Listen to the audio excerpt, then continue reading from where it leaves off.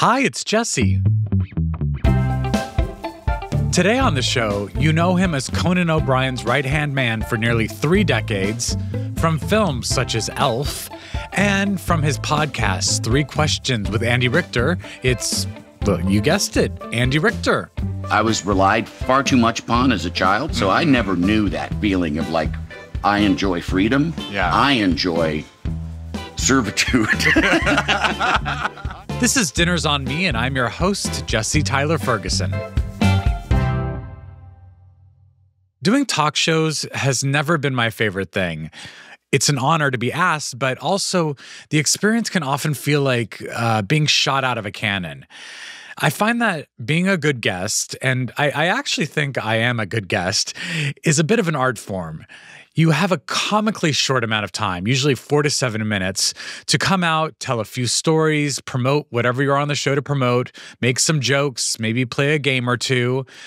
For me, a successful appearance means being charming but not cloying, funny but not crass, subversive but not overly controversial. All this while being true to myself and having good chemistry with the host. I don't know, maybe this sounds easy to other people, but for me, it feels like a challenge on the Squid Game.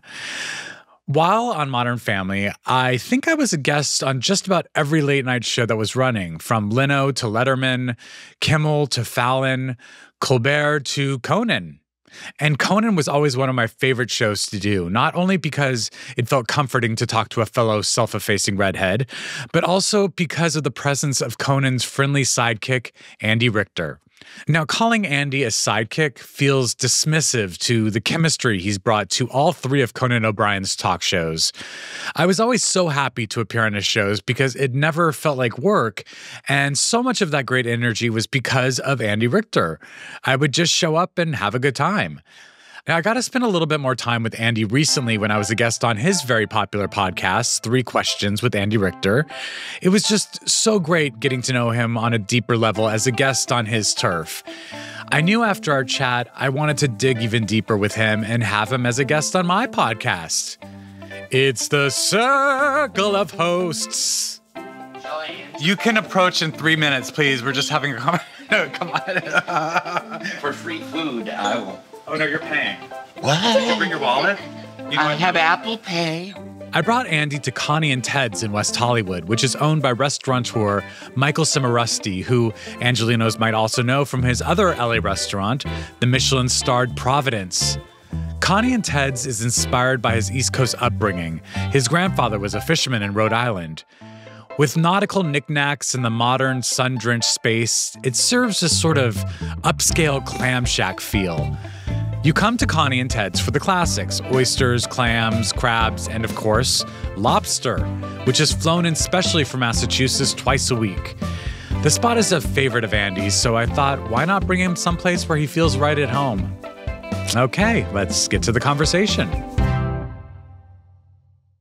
But how old are your kids? Well, four, and Yeah. Coco's four, right? Yes. Yeah, your your stepdaughter. Yeah. Well, she's mine. She's legal now. She's mine. Oh, I adopted her. Yeah. Oh, that's yeah, wonderful. yeah. Congratulations. Thank you. Thank you very much. Um, yeah, four, and then my younger one is he'll be two in November. So what's the math there? Twenty-one months or something? Something like that. I don't yeah. know. Yeah, yeah. Um, That's close together, though. but yeah, so I, I It's a lot of work. it- it is a lot of work. Yeah. Um, how has it been like having a four-year-old? You've already been through it once. Yeah. Twice. In some ways, it's easy, and in some ways, and in some ways, it's embarrassing how not so much now people are used to it Mm-hmm. but when i when people started to find out that because my older kids are 23 and 18 yes. people would act as if I, it was some act of heroism on my part. yeah. And I'm like, I well, first of all, it's like dad has it a lot easier than mom. Like, I fell in love with somebody that has a kid. I like raising kids. Mm-hmm.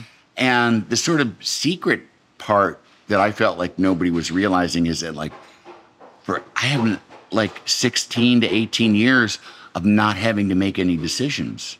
You know, like Yeah. this this child has freed me from my greatest existential fear, which is what should I do with myself right, Right. now? Like what like what do I do now?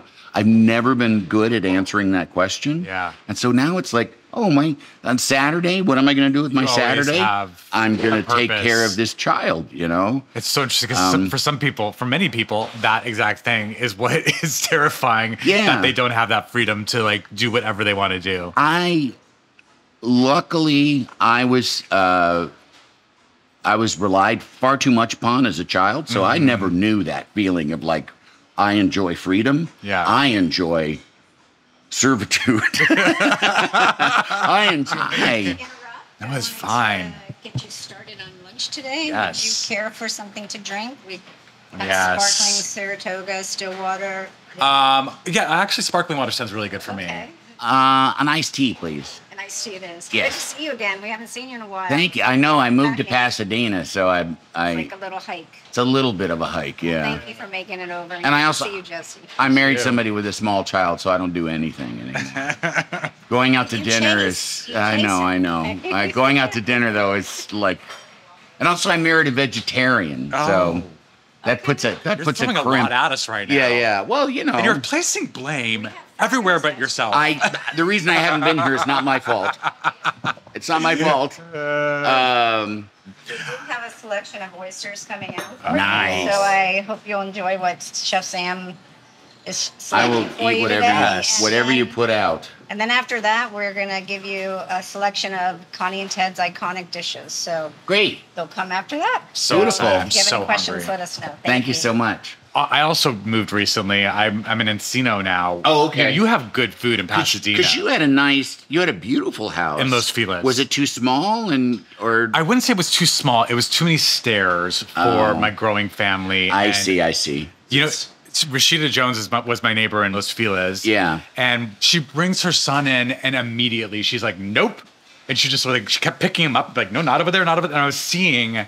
In, in in live time, like how impossible it would be to baby proof this house. It was Yes. like beautiful wrought iron work with like these curling like spikes. I was like, oh, that's a place where you can like be, literally fish hook yourself. Like, Yeah. I was like, oh, I'm I'm seeing this in a whole different light now. That's the thing when you get a little toddler who runs around and who like is just a a danger machine, Yeah. uh, constantly picking things up and putting it in their mouth. Yeah. You go places like the first time I went to Disneyland with a little kid with Yeah. my with my son, I realized your life is defined by how far you can let your child get away from you So without having to freak out. Yeah. And at Disneyland, you can let him get 50, 75 yards away and you, can I've dropped you them off at the gate and just said, "See you at 8. Here you go. There's 20 bucks a piece. Good luck. we did an episode of, of Modern Family at Disneyland, and my storyline with Eric Stonestreet was that we were panicked about losing Lily, and we had her on a leash. Yeah, yeah, yeah. At Disneyland, and how like all the other parents were judging, Judging, us. yes. But then we met another set of parents with their kids on a leash as well, and we're having a conversation with them. But the kids are getting all tangled up, like like dogs would if you're walking them on the sidewalk. And we're so we're constantly like stepping over the leash, like taking behind our back, trying Yeah, to like yeah. untangle. And it was just this physical comedy that we thought was so funny. But like now that I have a kid, I'm like, oh, I get the allure Right. of a leash. Absolutely. I mean, I haven't gotten to that point yet, and I Yeah. think, I think. I'm pretty good about keeping up on these things. I think that they're still pretty controversial. Are they? yes, they they definitely are. Yeah. And I have a twin brother and sister. They're actually my half brother and sister, but they're nine years younger than me. Okay. And and I mean, there was no sort of like mom will take care of them. It was Right. immediately I was like handed a baby with a di- full diaper and like here change this child. Yeah, you know? yeah, yeah, yeah. So my brother, my older brother, and I definitely were very much involved. And there were times when we would not all the time. But there were times when we'd be like, we got to break out the leashes. Yeah. And we would have them on like, it was like, you know, when people walk two dogs Gave 'em a lot together on slack. Yeah, yeah, yeah, yeah, yeah, yeah, yeah, But I mean, but it, at a certain point, it's like I don't care. yeah. You If- when you're outnumbered, it truly Yes. is. It's like, well, you, you're just, your job is to keep them alive. Like I was, I was introduced to the oh shit, my child is gone Yeah. at like age yeah, yeah, yeah. eleven It's or way twelve. too young to be dealing with that. Yeah, did you? Where did you meet Jen? Uh, we met on Hinge. We You met did? online. Yeah, it was Oh. my first real experience uh, doing that. I, you know, I, I split up with my wife, and it took, you know, I mean, it was. It was, you know, it was the worst thing I've ever been through. Yeah, you've We'd been, very together- open about yeah, how that affected you and sort of gutted you. we'd been together for 27 years. I'm tw- married for 25, so it was just it was awful. And moving out of the house that I lived at with in with my kids was just the absolute worst part. And my, you know, I talked to my sister, my younger sister, who'd been divorced, and she said, she's like, well, it, it'll take really a long time before you feel settled down enough to really kind of even feel like in any way serious about getting back together with somebody. So they, you know, it's a couple of three years, and I was like, what? Yeah. I don't have time for that. I, you know. Um, so, but she was right. It did. It took a while. What was that experience like? Was It- it, hard? It was. Well, it was exciting Yeah. in some ways because it was like just the notion of something new. But yeah, it wa- I mean, it was nerve wracking and it was kind of terrifying and and you know you feel like an old shoe. You know, you don't like it's not like you don't feel like hi. Hi guys. Hello. Hi, Oysters incoming. for you. Thank you. Do you have any kind of Tabasco-y, hot saucy oh kind of? God, the demands just don't stop. Well, it kills the E. coli. You can't yell at people. It kill, well, listen. I have, thank you so much. That's so kindly. Thank Thank you. Um, So yes, so we um, we met on Hinge, and I had been dating, but I just kind of was sort of stuck a little bit. Yeah. And thought, well, and you know, was that the first time you signed up for the app? yeah. Oh, well, no, that's not entirely true. Uh, my friend Nikki Glazer, the comedian. Yeah, I know Nikki. Shortly after I split up, uh, Nikki said, "Oh, you got to get on Raya. You know, the one that's like supposedly. Yeah. celebrity. There's like a waiting list. to yeah, get and you on have to it. be okayed to be in on it." Uh huh. she said, "I'll recommend you," and I said, "Okay." And I, I, she recommended me, and I signed up. And I was in no position to self-examine and like Yeah. write cute little things about myself. I because I just felt like You're just- I'm an old shoe, you know. Like I'm garbage. What kind of music do I like? Garbage music. Um, and it was it was also you had to pick a piece of music, and everything I plugged in was just too old for it. Like it was like I couldn't find anything. Yeah, yeah. no, well, I mean just like no, but I mean like uh, like Aretha Franklin or I don't know. They didn't even have these songs that I was putting in, so I don't even remember what I settled on. God, I'm desperate to know. I think like I think I settled on an Al Green, which I felt was much Okay. too forward. You know, because that's like a come on, baby, let's Is that like go. let's get it on? Yeah, a like, little yeah, bit. like- Yeah, yeah, but I don't think it was that. But but um, so funny.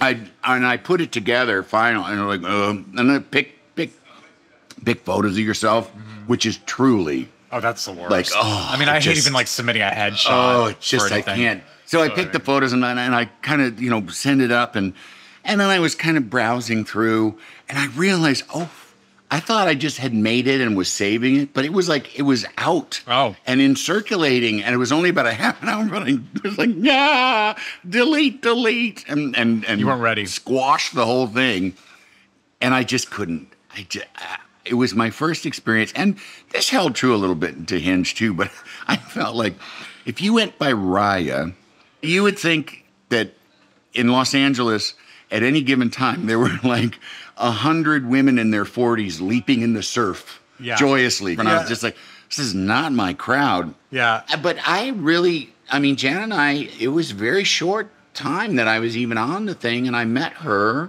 because we went out on a couple of dates, and then she came over to my house and I cooked her dinner, uh, which is, you know, I I understand the power of that, and Sure. you know, It's very powerful. um, and uh, and and then I just started hanging out at her house, and I met her daughter, and uh, and I started finding myself driving home feeling very very happy oh. and and like in a like I say a way that snuck up on me, and a a big deal to me.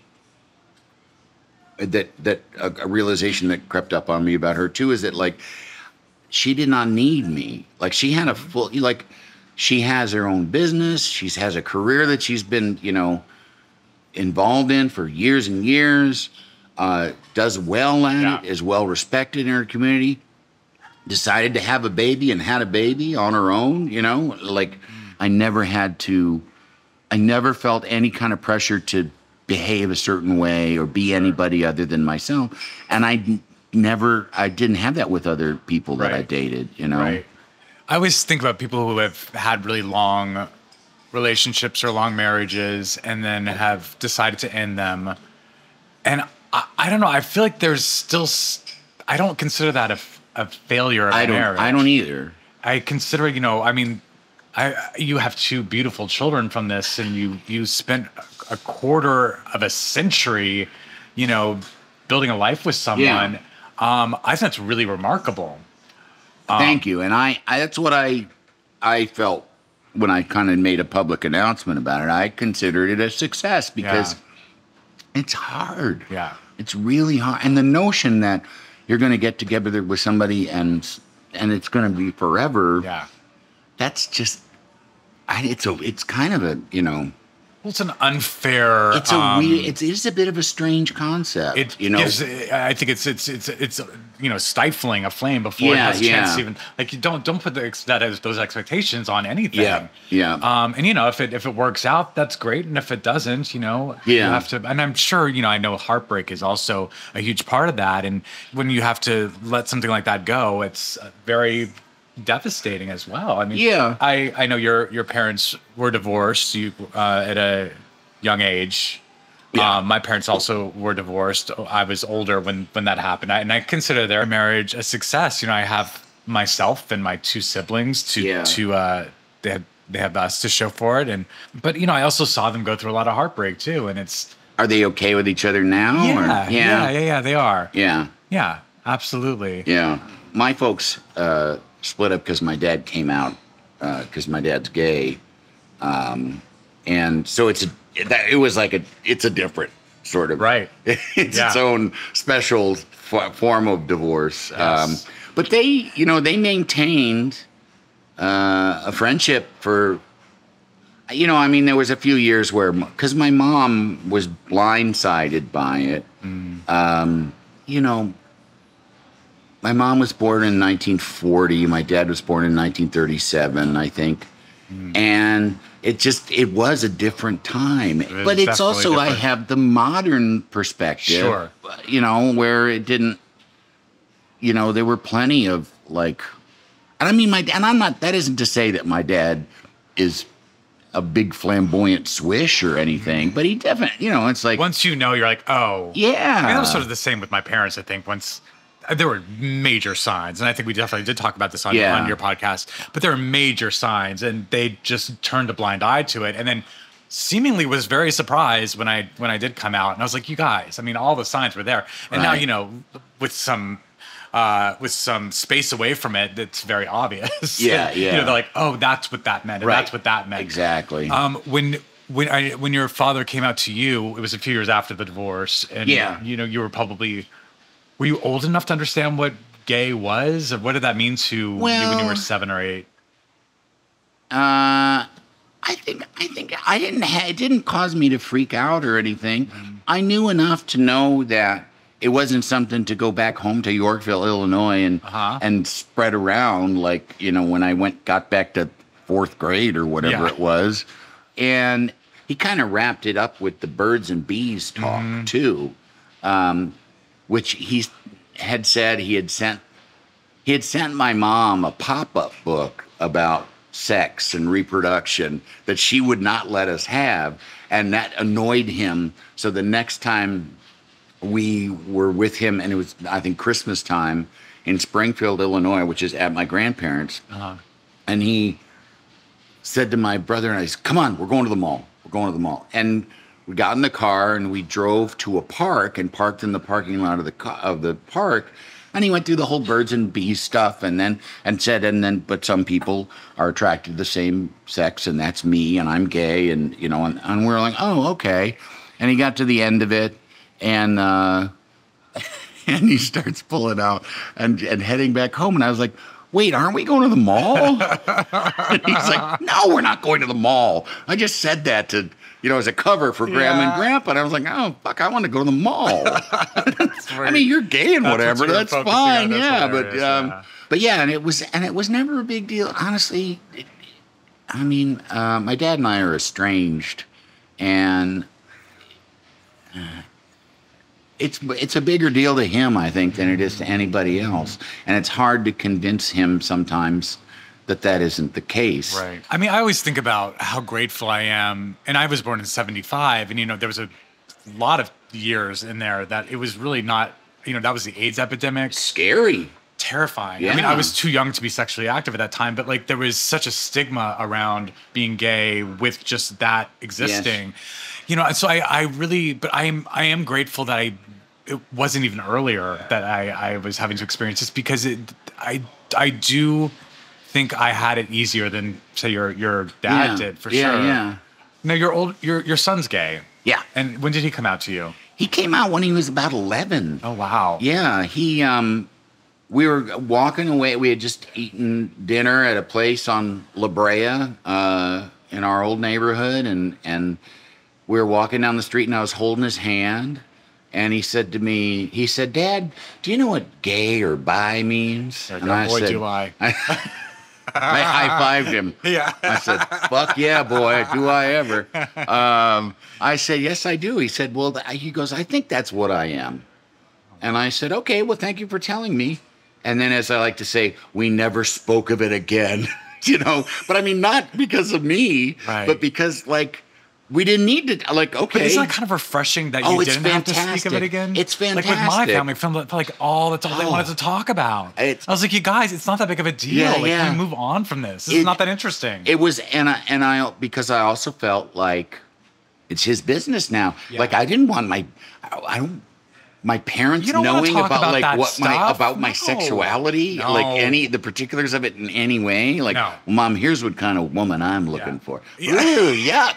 No, it's Do you not. think it doesn't that, matter. any of that sort of open-mindedness comes from just the fact that your dad wa- was was gay and or is gay and, and came out to you at such a young age Possibly, but and I- was not a big deal to you? Yeah, but I also, but I mean, but then that, uh, you know, that's also uh, compounded by my mother and my mother's reaction to him, which, you know, once she got beyond the heartbreak of it, she didn't care. Yeah. Um, and she was very open about it. And my mother, I have to really give my mother credit too, because she was very much about mental health. And when, you know, like I started seeing what she would call a family counselor when I was maybe 12 or 13, because she had remarried and there was all kinds of adjustment. And she very much believed in the talking cure, as Which they is call kind it. of at, th- at that time pretty incredible because It- I think people I there was think so. great stigma around It, there still is people Yeah. you know i mean i've talked about mental health on things and i'll have people come up and say Mm-hmm. i after you know 30 years of being miserable went to a therapist because i heard you on Yeah. a podcast which i just in one sense i i'm i'm touched by it i'm i'm I feel great about that but then in another sense i'm like what really that's what it Yeah. oh jesus you know Yeah. i don't un, i don't i don't understand i've never understood why mental health is treated any different than any other health. It's like I, you know, when people would say like, I, you like when I started going on antidepressants, I had friends that were like, "Whoa, yeah, uh, isn't it going to stifle you creatively? Isn't it going to change your your personality? I mean, are can, are you going to eventually get off them?" And I was just like. I was walking around with a bone sticking out of my leg. Yeah. You'd go get go to the emergency room, get that fixed. Yeah. And I- it's like I don't understand what the there's I think people just think that your brain is who you are and you can't fuck with it, which is just like, yes, you can. Yes, you Mm-hmm. Yeah, can. yeah. You can. What's it's life is too short, you know?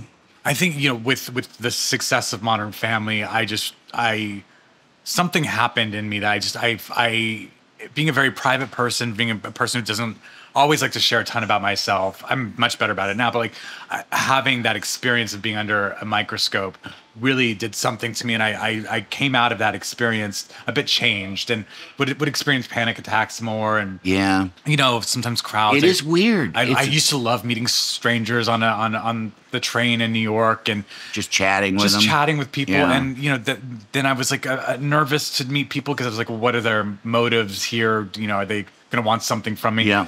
i was noticing these changes in myself and a lot of it was you know mental and um and i was very stressed out about things that normally do not stress me out. And so I, I, I explored not only talk therapy, but Yeah. um, medication as well. And, you know, I'm still figuring out how to use those tools for, uh, to their best ability. But, you know, it, it has been something that I've embraced. And I'm, I'm glad that I'm in that place where I'm sort of on the journey of Yeah. figuring out what works for me and what doesn't. Yeah. Yeah. I've heard you say this before, but you've been with the same therapist for a very long time. Long, long time. Yeah, since the early '90s. In fact, I just had a session. This my normal session is Thursdays, Thursday mornings, and um, and it's been mostly by me? the phone. No, Oh. no. All right. We talk. I talked about me. oh, I just luxuriated in me. Um, no, and I mean it's. I don't. I don't plan on ever being fixed. Right. It's it's a process, and it'll it'll be an ongoing process. what did depression look like for you when you were younger? Oh, uh, Did it inertia, Yeah. inertia, sadness, just sadness Yeah. and inertia, you know, and um, suicidal Mm. ideation has been something that has been with me for a long, long time. And I mean, and it periodically throughout my life, I have experienced never like, you know, I'm going to go to the hardware store and buy a rope. Right. But certainly, sort of like, you know, I could go up on the roof of this building, Right. you know, that kind of thing, just in a very sort of casual kind of Right. way. And, and it, it's a process that lots of people go through and a lot of you know and people that i know and love have gone through it and i think they just think that if they tell anybody you know somebody's going to check them into the hospital or something but Yeah. it's like no i mean it's Also, I mean, there's certainly days I remember thinking, especially when I was younger, like, you know, I was bullied as a kid, and I was like, well, this is not that much fun to Yeah. be living this life every day. Yeah. I never got to the point where I was like, I'm gonna take myself out of the situation. But I do remember thinking, like, this isn't the most fun I've had on a Wednesday, yes yes being stapled to this. oh we can laugh about it now yeah, yeah, yeah, yeah, yeah. you know I find it a little bit fascinating when you were going through your divorce that you were also, you know, actively on television yes at that time too. Yes. I remember having a, a fight with just a pretty bad fight, like early on in our relationship. Like I wasn't even. did your relationship predate the show we met a year into it. Oh, okay. So, but he's kind of been with me through the entire run. I remember it was an it was an episode. It was the first episode with Nathan Lane, uh-huh who is an idol of mine and someone I kind of knew a little bit in New York, but he was guesting on that episode. And I, meanwhile, at home, I was having a, a terrible fight with Justin. And again, it was early in our relationship, and so we weren't, you know, we were sort of learning the tools of how to fight. Right. But it felt very big at the time, and I remember just being devastated and having to like do this scene work with one of my acting idols, and like feeling very unpresent. yeah But I remember acting with Nathan, and thank God I've had many scenes with him after that. But like, I always remember the first day he was on set. I was like, oh, that was such a bad day for me. yeah I mean, it really took over my my whole being.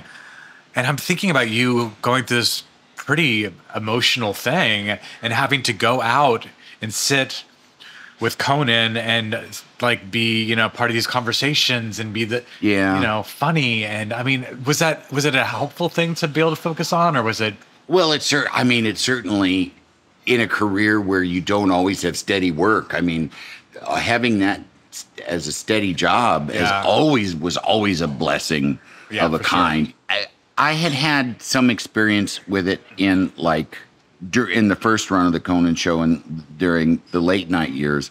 Having having a lot of struggles with depression, and those sort of spilled over into kind of how I felt about the show, um, and in many ways, the the dissatisfaction that I had with myself falling over into the show was one of the reasons why I kind of left after in the first part.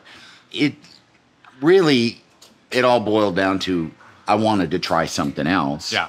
But it also was all mixed up in depression and and bad behavior patterns that were you know that I was stuck in and that I was learning to you know learning to get out of yeah.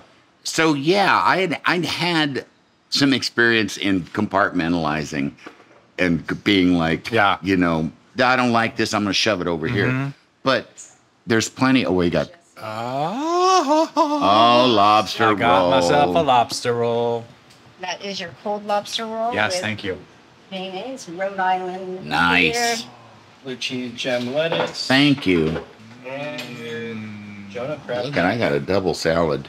And I'm gonna bring you a soup spoon just in case you wanna. I do want to try that. taste. I gotta try that. I made a meal out of apps. I'm crazy that way. Mmm.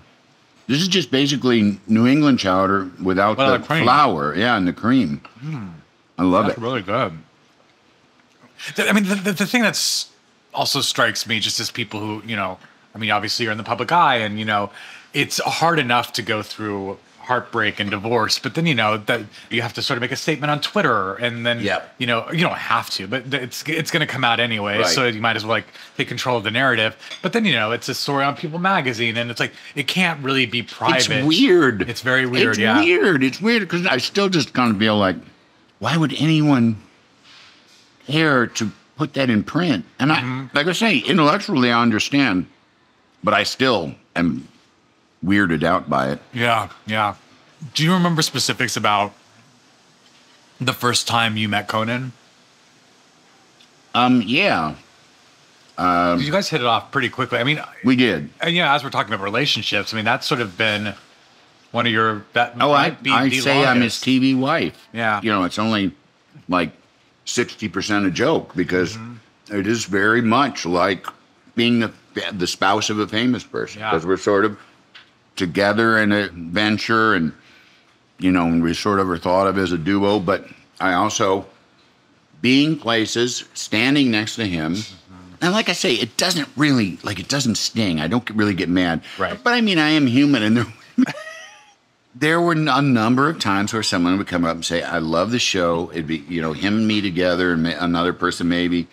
Um, but I spec- specifically remember one in Chicago. We were doing shows in Chicago, and it was me and him and Sona were going to get something to eat, and um, somebody stopped him, ran on and on and on about how much they love the show, crazy about the show, and could I get a picture? And he said, sure. And the person just handed, Handed me the the- phone and yeah. got a picture with him and never did any kind of like, oh, it's you too kind of thing, which I just, which made me feel like, Yeah. you don't really like, That literally happened to me and Julie Bowen in an airport, though, where someone handed her the camera to take a photo of the two of us. I was like, "There's no way. They just must not have recognized you."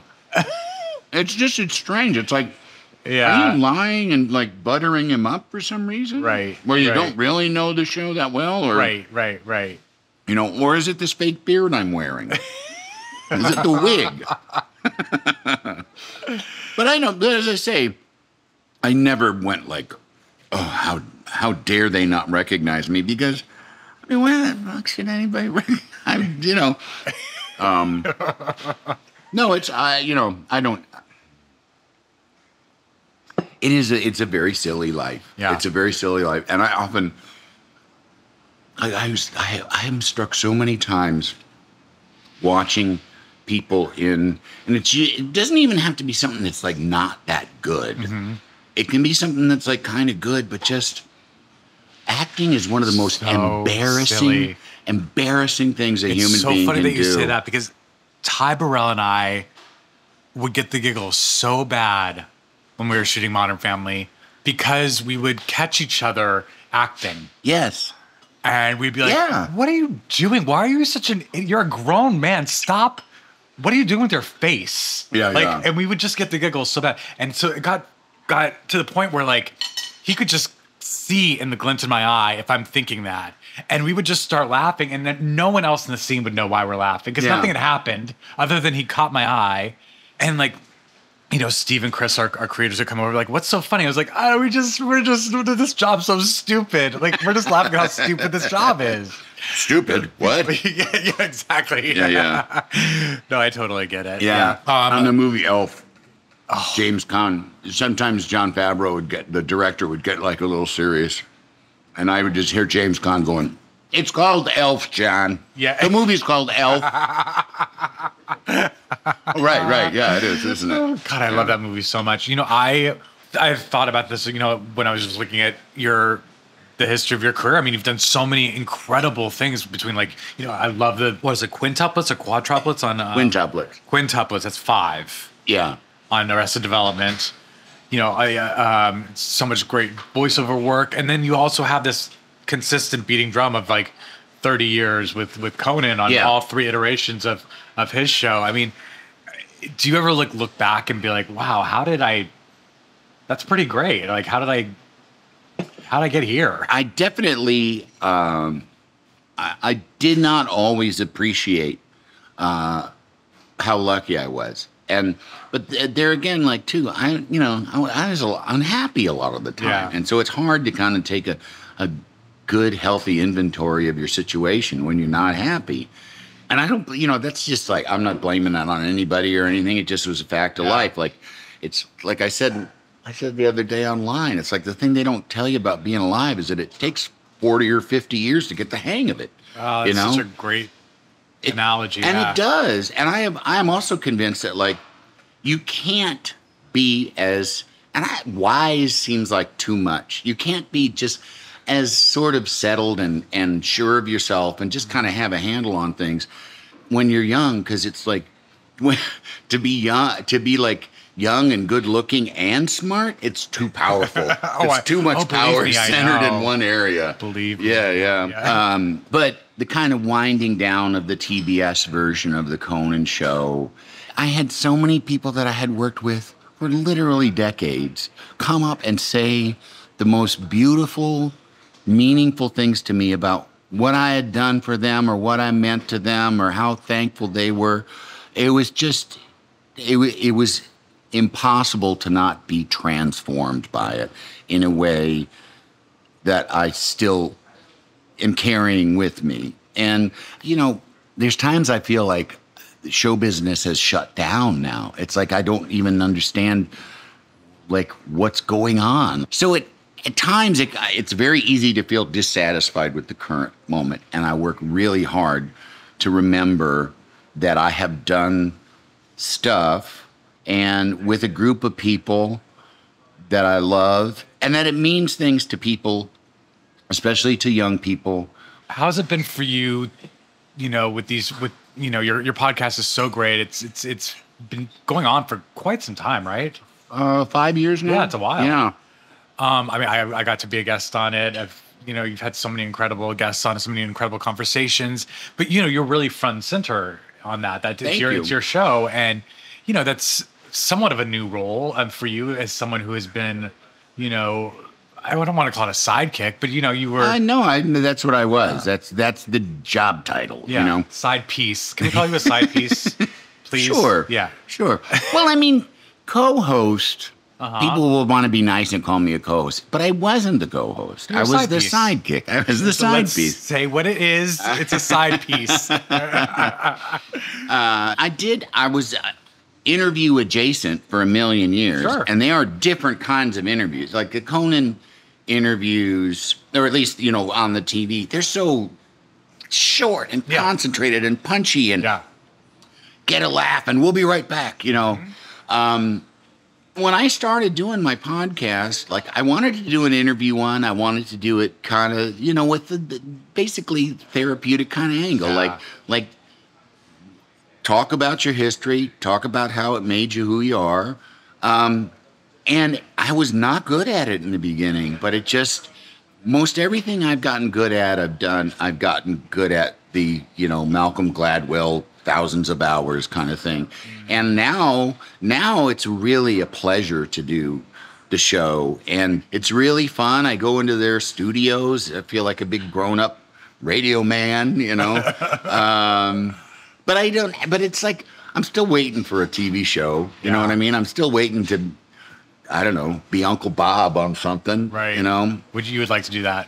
Oh yeah, yeah. Yeah. That's my number one choices. I mean, you know, the Conan show was great and I always loved it, but I always missed acting. Yeah. And that's what I set out to be. I set out to be a comedic a character actor bas- right. basically. Do you ever find that because you're so well known as yourself for 30 years, do you ever find that it's harder to break through to I- those opportunities? Well, first of all, I think that the casting process is just dumb. It's like what it's- is it now? Even I don't even know. What I don't even know what it is. And yeah, you record yourself, which I absolutely hate because then you have to find somebody else. That's uh, talk about embarrassing. It's like ask my son to read lines so I can audition for you know. Nothing's worse. I fired Justin as my like line reader. Oh, 'cause I will- my I fired my wife too, because she'll because she reads the the the description copy Oh, no. too. He exits she'll like the room. she'll read yeah she'll be like she'll read her line and then be, I can tell she's reading.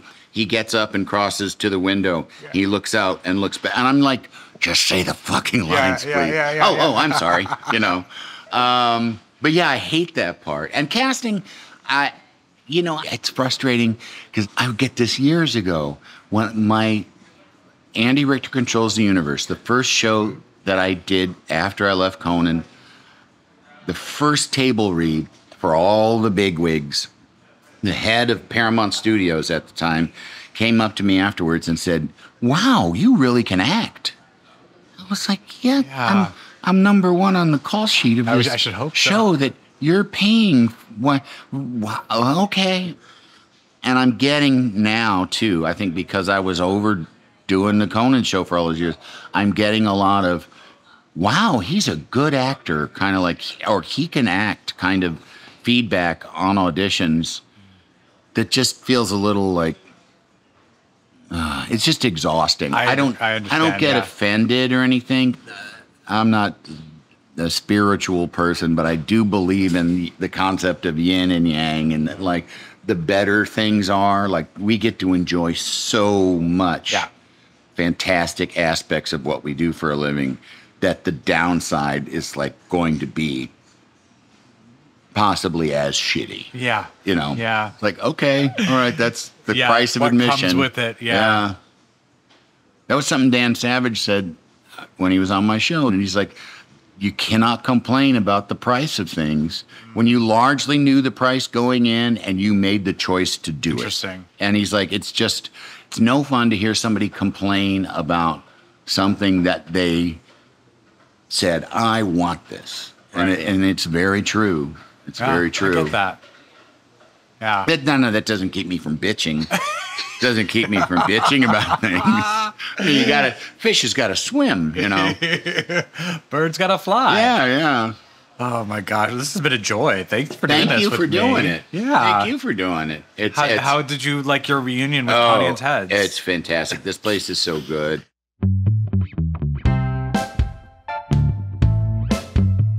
This episode of Dinners on Me was recorded at Connie and Ted's in West Hollywood, California. Next week on Dinners on Me, you know him as the youngest Dunphy sibling, Luke, on Modern Family. It's Nolan Gould. We'll get into what child stardom was like, our favorite on-set memories, and making life out of the spotlight.